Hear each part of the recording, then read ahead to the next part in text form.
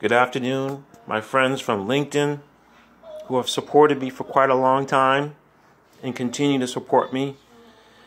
I decided to take my love for God a step further and I went and purchased um, these tees on my own and put this special word of God on there, Acts 2 and 21, because I want to see God's word continue to go forward like it's supposed to. As we are assigned from the book of Matthew, Matthew 28, verses 16 through 20, the Great Commission.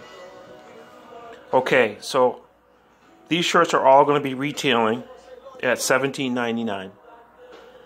And I also have them in several sizes that you might like. Sizes that I have